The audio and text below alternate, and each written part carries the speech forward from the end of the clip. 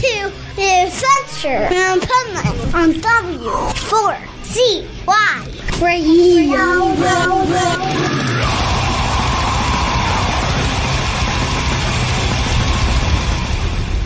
Wake up, America! It's time for the adventures of Pipe Man on W4CY.com, West Palm Beach's number one internet radio station. Here's your host, the Pipe Man. Somebody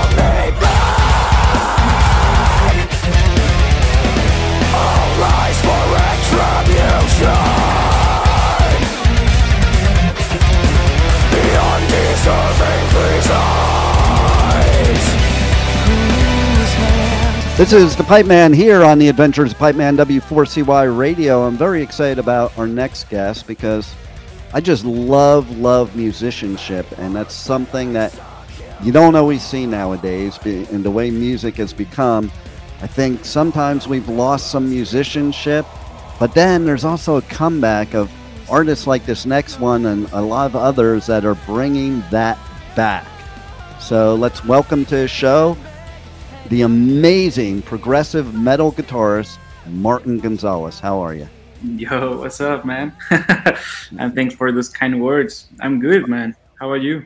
Oh, I'm great, and and my pleasure because it's true. You know, like, listen, nothing takes the place of good musicianship. You can push buttons all you want. You can use AI all you want, and that that's all good for enhancing, in my opinion, but not as a replacement. Right, I can agree, man. Especially with that AI stuff going on as of lately. Scary, man. oh, it was scary way back when, like in the 80s, I remember telling people, like, I don't like this. The machines are going to take over, you know? And here we are. It's like reality now. But, Dude, yeah. But there are a lot of artists like you that are bringing back what things were, I say more like in the 70s and the 80s and the 60s, where it was all about musicianship and you know especially talking about guitars like songs nowadays are written without guitar solos because of the attention span of people out there but also because i don't know i think some of these musicians nowadays are not even learning how to play guitar they're learning enough to get by and then they use all the uh, you know technology to do the rest Right, right. Now, now I feel like people could consider their laptops as instruments, which yes, is nothing against that. It's incredible what you can do with a laptop, but now I feel you. My my passion is guitar, definitely. Like laptop is secondary. Have you ever seen the? There's a meme out there that shows a picture of the rock star in the '80s and the rock star now have you ever seen this meme? Right, right. Yeah, that is like people partying and like drinking beer and then just like a nerd sitting in front of his computer. totally. Oh man, it's so funny. you know, because it is pretty true. And I mean, there's a positive side to that too, because a lot of musicians down nowadays they are more professional and serious about it, and they they're you know straight edge. A lot of them, whereas back in the 80s that was true. It was you know massive amounts of partying. But i think that also holds to what's benefit nowadays of artists like you being able to get out there and make your own music opposed to record labels telling you what to do. Because i think what happened in the 80s is record labels threw so much money at these young kids and basically told them what to do that and they set them up with the party and they wanted them partying they wanted them you know doing all that so they could you know to be blunt, screw them over. right, right. It's, it's definitely part of their image too. Um, yeah. Which is so funny. Let's say like one of my like one band that I admire a lot that kind of has that like rock and roll energy still is probably Polyphia. like uh, they they still like they're I assume they're definitely like nerds because of the music they do, but at the same time they have that like rock and roll energy that is like what the fuck are they even doing? right? Exactly. So a lot of your fans know you best as a composer. Uh, and what I think is really cool about it, okay, so you're the composer for popular anime franchise uh, Rooster Teeth and uh, RWBY Rooster Teeth. And uh, what's interesting I find about that is so I saw this band back in the 80s when I was a freshman in high school in the beginning of the 80s. I saw this band. Um, they played in my gym in high school. And now the singer for that band is one of the biggest composers for like everything ever, like Batman and uh, The Simpsons. And that's Danny Elfman from Oingo Boingo. And Oingo Boingo played in my gym. So immediately when I saw that, that's who I thought of. So, so that's pretty cool. Tell us a little bit about that. Man, yeah. So the the the company who makes the the anime is Rooster Teeth, and then the anime is called uh, RWBY. And um, see, I said it wrong. it's um it's it's been a cool gig, man. It's like the first time I got to do something for um like a TV show. Um and to be honest, uh, the TV show is uh, as good as it can get at the moment. it's been like a TV show that started kind of like as a YouTube thing from like kids that didn't know what they were doing, and now until there, where they have like a budget where they have like real animators and real things, and it became so popular. I was surprised to how popular it became.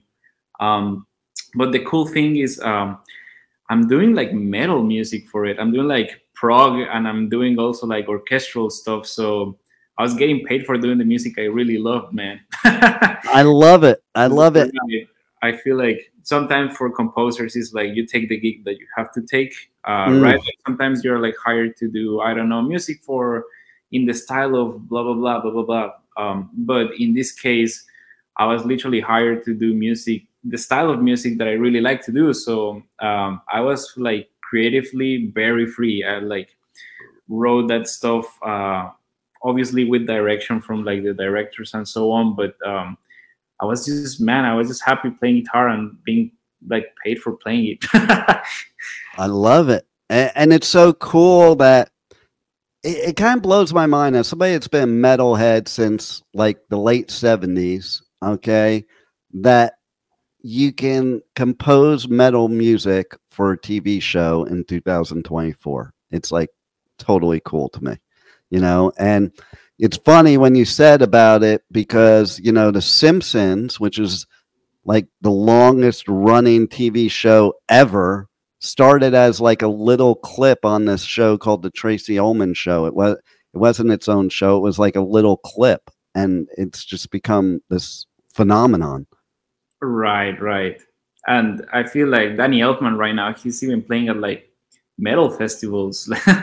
yeah, yeah, yeah. So I go on tour and I do coverage of uh, uh, festivals throughout US, the UK, Europe. And he's on a couple festivals that I'm looking at that I might do press for. And it kind of blows my mind because he hasn't really done that that I've seen in a long time. Like I'm sure he has, but not on like major festivals like that. So it's kind of wild going back to his roots, kind of. Right, right. I um, I feel like especially now that that particular world of like composers and uh, like actual metal musicians, like they're starting to merge. Um, I I know of a couple other people that are like in bands and like doing metal music that are actually writing music for video games and TV shows and film and stuff like that. So some somewhat like metalheads are taking over that stuff as well. It's pretty exciting, yeah. man. And look and look at what happened with Stranger Things too. Like that's even exactly. wild. Yeah, and what's interesting too, if you travel the world, you don't realize how metal has a place in places you wouldn't even think of. Like currently, right now, I'm in Costa Rica, and right. I had no clue, but there's like a huge underground metal thing going on here, and it just it's really cool. Blows my mind though, because I would never thought of that. Because there's like one major festival here, and it's not metal. So and so, and I had been talking about like, yeah, I'd, I'd like to, I'd like to start my own festival in Costa Rica. And then I came down, and I this year I came down. I was I come down every year, and I was talking to somebody that actually does different festivals and events, and he's like, oh no, we do a lot of metal stuff. It's all kind of underground type of thing, and that that reminds me of the good old days too. Man, that's awesome. I honestly, if you have recommendations for like metal musicians or bands that I should listen to from Costa Rica, dude, I, will take them in. I'll have to find them. There is one that uh, I'm forgetting the name of the band, but I was in Bali last year for two months, and there's this band there that they're they're kind of like maybe pop punk combined with metal and punk, and, and they have this song called Kuda Rock City. Kuta Rock City. I'm trying to remember the name of the band right now. I'm lo- uh, but like they're really popular there, and I listen to them. Like, man, they're really, really good. I, again, never expected that in Bali for sure, you know, and, and it's just really cool. And then I was just in Mexico a couple months ago, and I saw metal stuff going on there, and I'm like, man, that that's just re- speaking of which, have you ever seen that band that does the mariachi metal? Maybe, maybe. Do you know the name? Yeah. I'm like I'm like being senile today. I'm like right, but it's real. I know it, and it's like really good. I'm like that's pretty cool. Yeah, there's this Mexican artist called uh, Jose Macario. Okay, he, he like he's like one of those musicians that like play a bunch of different genres from like literal like Mexican popular music to like Mexican djent. it's like it's super weird, man. But um, he came up with this album that blew my mind as of recently. I think like a new album that released like a week ago or two weeks ago, uh, and the band is called Ladrones. This like the thieves. and, and dude, is the weirdest fusion of music I've heard in a while. It's like imagine like mariachi singers with like hip hop influence, like stuff, but also with djent in the background, with like actual Meshuggah going by in the background, nice. and, and like what? I mean, I, I liked it though, but but it's really weird music, the one that is coming up from Mexico, especially. I think. It, you know, what would be kind of cool if you had like, and I'm saying this because it's funny. I just took a lesson, uh, and I noticed and it wasn't because him, but like because I'm in Costa Rica. But uh, I it's Jose from Sirius XM. He just took a lesson too. Like it was totally out of his comfort zone, totally out of mine on like salsa and merengue. And I'm thinking, how cool would it be to have a mosh pit that was combined with salsa and merengue and bachata, you know, and, and you're doing that in the pit? That would be so funny and fun. Dude, I'd be I'd be in the pit right there dancing and and and hitting people. right, right. Yeah, that would be so cool. And then there's this other thing. I don't know if you know this or not, but there's a big thing going on with yoga to metal, which I love that because everybody associates yoga with mellow and you have this mellow, like spiritual music in the background. And me, I sit there, even though I do it, I'm like getting bored after a while if you were playing like Slayer while I'm doing my yoga, I would do yoga all day. Damn, dude. Honestly, I, I find it funny how some people really find like that type of stuff relaxing. Like, I feel like I with, don't. dude, with Slayer, I would like not oh, relaxing. oh, Slayer, I would find relaxing. I don't find the mellow relaxing to me. It's weird. For me, it's like I, I get antsy you know. But if you gave me Slayer, I'd be totally into it, and I'd be.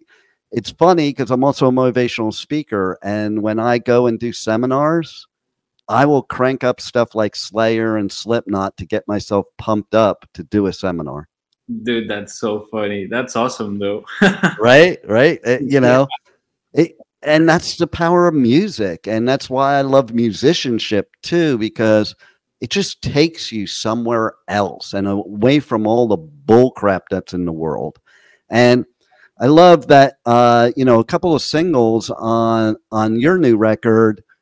They're they're they're both different. Okay, so oh yeah, and and what I like about that is who does want to listen to the same song over and over again, even if it's your favorite band. I like to hear variety, like everybody throws shade at Bring Me the Horizon for doing different things. I'm like, more power to them because I like hearing the different things, but also for the artist, I feel good for the artist because it must be boring as could be if you're eh, just doing the same songs over and over again with the same chords and the same riffs and you know I, i'm Right. sure as a musician you'd rather just ex- experiment honestly yeah dude i feel like uh well that's that's the cool thing about being independent too is just nobody tells you what you can do or what you should be doing. And uh it's just cool to like not depend on anyone else's opinions or like things that they think i should be doing for them. Um i just Yeah. do it for myself to be honest. And every song has a different purpose or like background of where i'm coming from which this record is really personal to me. It's like every song has a has a meaning. It's just not. God damn it! I'm receiving like a thousand texts, and I don't know how to put my computer inside. that that might be the that might be the record company saying don't Yeah, say stop, that stop saying that. Just like, what are you saying? You're gonna get fired. um, but imagine just like. um, Uh, I was saying, uh, so yeah, every song has a particular meaning to me. Um, for example, the first song is like a song about self sabotage. It's like a Mm. song about like really how uh, I'm responsible for my own like type of outcome I have in life. And so I decided to do something very like heavy and aggressive, or as aggressive and heavy as I can get. I've never done a song like that before. Um, and then I had my wife sing on it, and she's like oh that's cool she's so freaking talented, man. Uh, now music is subjective, but I, I think she's a really sick singer. Nice i hope so because otherwise you're in big trouble if you Right. say different right. Not because she's my wife by any means, but because I just think she's a great, great singer. And um, yeah, dude, um, that song in particular was just like a song that I was like, has to be heavy. I've never done something like this, and uh, it has to be really like what encompassed my guitar playing as a whole. Versus the second single, uh, the one featuring Richard Henshall from Haken, is more of uh, the positive side of my life. It's more like just looking forward to like waking up every day and having like some sort of purpose or some well the song is called purpose but some sort of meaning something that excites you to to live your life and and, and just try to be happy so two very different concepts right one is like oh i hate myself and the other one is like nah dude you're gonna be fine See, I love that though. You know why? Most people don't admit it. We have all of us, even the most positive of us, have all those sides. uh, You know, right like I- you know that we're not so narrow. Like there's so many dimensions to our personality that I think we need those multiple things to kind of be balanced. You know, and I, you know, e- even somebody like me, I can relate to both of those songs a hundred percent. You know, and that's the thing too. When you're a speaker, a motivational speaker, people are like, "Oh, nobody could be that positive all the time." I'm like, no, nobody is that positive all the time. It's how much you let it affect your life and for how long. You know, we're humans. Shit happens to us. We're humans, and we have emotions and we have things that affect us. But then we have tools that can help. And to me, music is one of the greatest tools and one of the greatest therapies. man it is that is true uh, i'm glad i'm glad like you can you can see it also that way lots of people think of like well they, they think of music as like they go listening to an artist and they expect something to sound the way they want it and then when they mm-hmm. don't they're like oh what is this artist doing and it's like they're probably just being honest about how they feel or whatever they're doing and that's why you don't like it Right? But- And Right. that- that's the only way to be a good artist too is to just be yourself. If you're trying to do things for what other people want, you're not going to be as good. You know, forget the fact that somebody's being fake. Just the fact of how can you be good at your craft when you are faking it? You know, Exactly. if you're just being yourself, it's easy. It's just like I tell people with radio shows or like, you know, like we and doing this interview or stuff like that. I don't script it. I don't prepare. Like, you know, there's a little bit of preparing, obviously, but I don't sit there like, oh, I got to practice. But I just get on and be myself because that's what people can relate to. I'm glad dude same came here absolutely unprepared Good. I love it. Because I the one thing, and I don't get it often, but when artists or PR people are like, Can you send me the questions you're gonna ask? I'm like, no. because the interview takes a life of its own, and, and like if you would have asked me before this interview if we were talking about some of the things we've already talked about, I would have said no because I didn't even think about it. Like it, the key to anything in life is letting life happen and then taking those life events, and that makes the conversation. I agree, dude. Totally agreed. So, how do people connect to you on socials, on the web? How can they get your new album, merch, anything? Right. So I always go like at Martin Gonzalez Music. Um, and that's on I think Twitter, YouTube. No, that's on Instagram and YouTube, and then on Twitter or now X for whatever reason. uh, I go by Martin G O N A R. Um, then I'm like it, it should be super easy to get to like how to buy the album or how to get to my Spotify or everything from there. Um, just look it up. It's Martin Gonzalez in Bandcamp, in Spotify, and basically every streaming service you can think of. And in Bandcamp, I'm currently running a pre-order. Um, and then as I'm releasing the singles, you can download the the full quality version of the singles, as in like the full audio quality version of the singles as you as you pre-order. Uh, nice. And the album is coming out on March 22nd, and uh, the next single is coming out Friday, this Friday, March 1st. Ooh. Um, and that's another song with vocals too. So I'm pretty pretty excited about this one. This one in particular is my favorite. So uh, I kind of like connect with me and you'll be informed of when this drops out. Very cool. And so tell us about the solo record coming out on the 22nd. If you were to say what it really means to you and like what made you come up with the name for it not not because what does the name mean but more of what it means to you right right right so this record is basically a way of me trying to like breathe out all the shit that I've been living for the past couple of years. Um, I, I I had like a year or two where I was just like confused to where I was going on with my life and just kind of like maybe doing music that I wasn't passionate about. And this is just kind of like a way to reinvent myself, to feel good about myself, and to write music for me because I love it. Right. So this record was like a reminder to myself about like why I'm doing this and why I want to be a musician and why I will never stop doing it. Um, so that's what the record personally means to me. Um, the name of the record is Suspiro, which means like sigh. It's like a heavy like, uh. right.